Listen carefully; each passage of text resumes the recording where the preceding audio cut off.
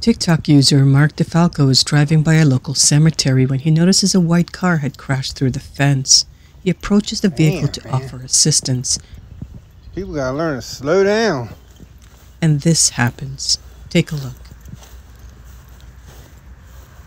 Lucky they didn't hit none of these tombstones. Real lucky. Hello?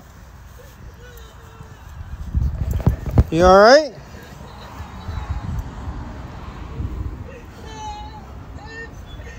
You okay?